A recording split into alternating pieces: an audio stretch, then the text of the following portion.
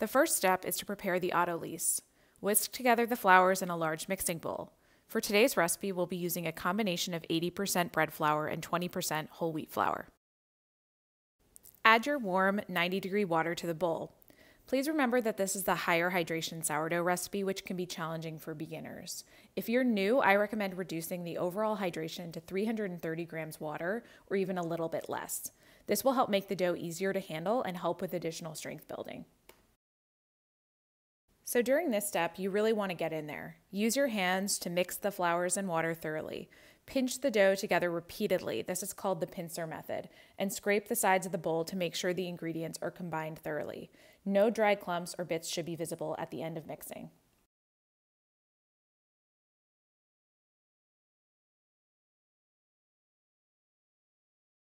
During this stage, the dough will feel very shaggy and sticky. Once mixed thoroughly, cover the bowl with plastic wrap. I like to use a plastic shower cap, which has elastic edges, and rest for at least one hour or up to two hours. Many sourdough recipes call for creating an offshoot starter or levain. This is a great way to adjust or tweak a timeline to suit your preferred baking schedule. I prefer to simply use a portion of my ripe, just peak starter in my bread dough. This eliminates one extra step and works better for my preferred baking timeline. In order to do this, you'll need to plan your previous feeding accordingly so that the starter is reaching its peak and due for its next feeding roughly at the end of the one to two hour autolyse period. While this test isn't foolproof, your sourdough starter should pass the float test when it's ready to be used in your dough. Place a very small spoonful of your starter in some water. It should float to the top. If it sinks, it's not ready to use and usually requires additional time. Check and test again later. We've now reached the end of the autolyse period and we're ready to add our ripe Just Peak starter to our autolyse mixture. At this point, the dough should already feel stronger. Add the ripe Just Peak sourdough starter. I like to lightly dip my hands in water to prevent sticking, but be careful not to incorporate much water as this is already a high hydration dough. Use your hand to spread the starter over the surface of the autolyse mixture. Fold the edges of the dough into the center to fully incorporate the starter.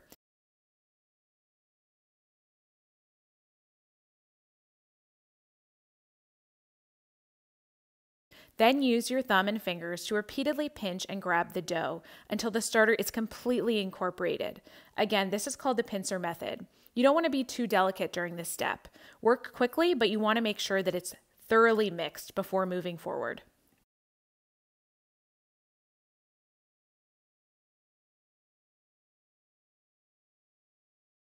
Cover the bowl and allow the dough to sit for an additional 30 minutes, at which point we'll add the salt.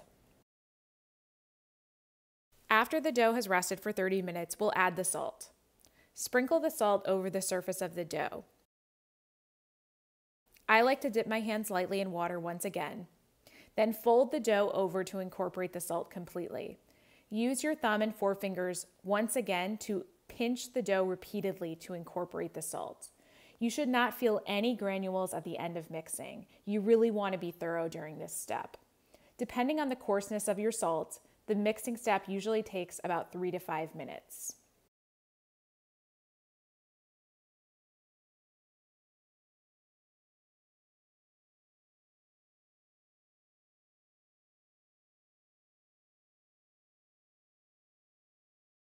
This final mixing step is another great opportunity to build strength in your dough.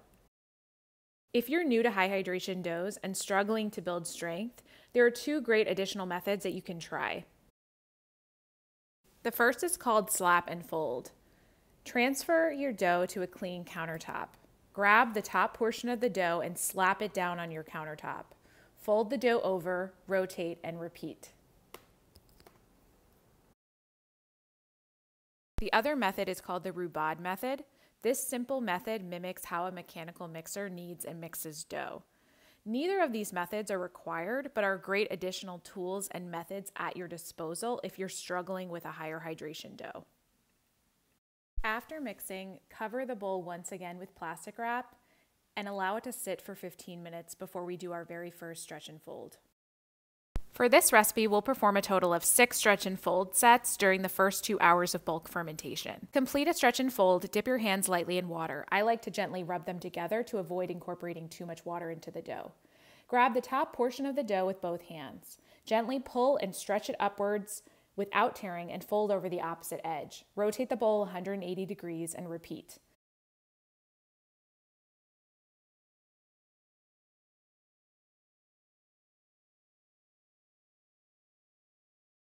Then rotate the bowl 90 degrees and repeat once again for both sides.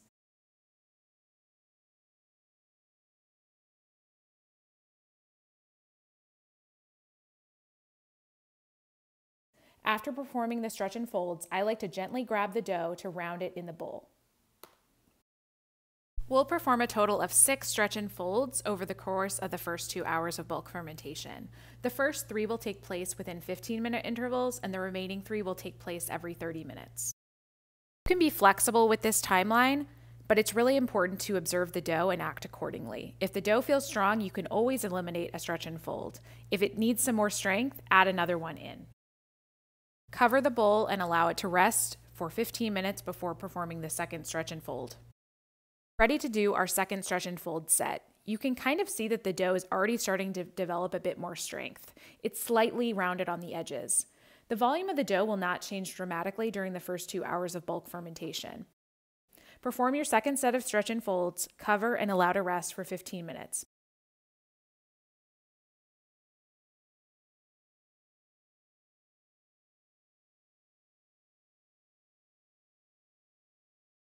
Ready to do our third set of stretch and folds. You can see that the dough is rounding a little bit more, but there hasn't been much change. Continue to be careful and gentle as you're stretching and folding as we don't want to press out any of those gases. As you can see, the dough is developing quite nicely. As I go to stretch and fold, I can see that I can pull the dough to be very, very thin, but there is no risk of tearing. This is a great sign that your dough has good strength.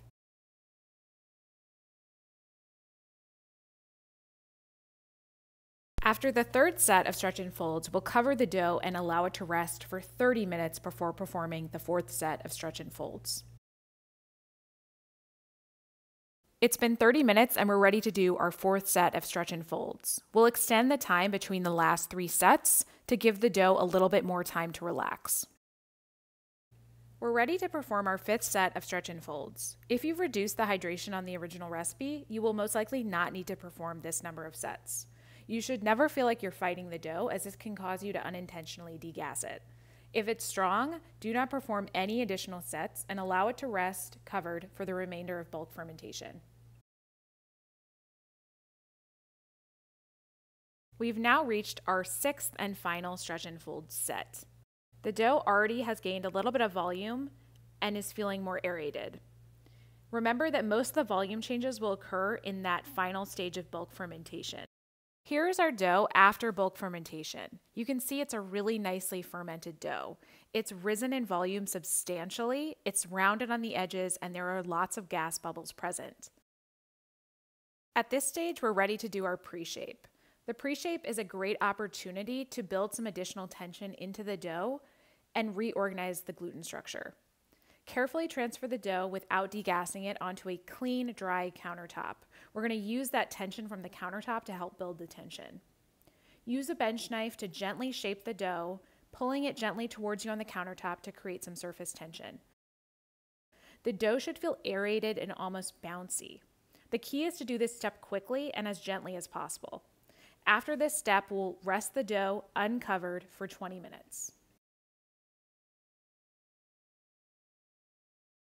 We're ready to do our final shaping. At this point, you should have a well dusted banneton set aside, ready to go. Lightly flour the surface of your dough with bread flour. Use your bench knife to gently lift it and flip it flour side down onto your countertop. For this video, I'm showing you how I shape my loaf into a batard. However, you can also shape it into a round.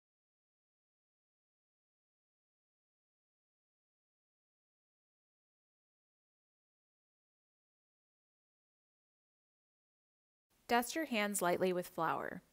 Gently grab the left portion of the dough and fold it past the center. You can gently press the edges to seal slightly. Repeat from the other side.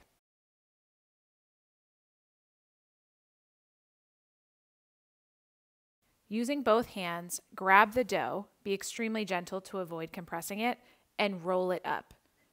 The dough should feel extremely bouncy and well aerated.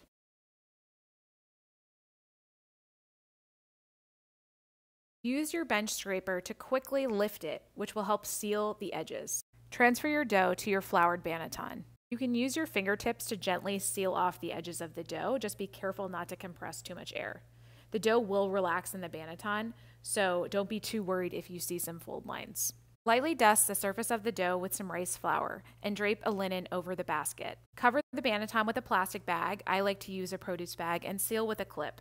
Allow the dough to rest at room temperature for 10 minutes. Place the covered banneton in the refrigerator and retard the dough for 15 to 16 hours. This slow and cold fermentation helps develop additional flavor in the dough and improves the final crust. Preheat your Challenger pan, Dutch oven, or combo cooker with the lid in a 500 degree oven for at least one hour before baking.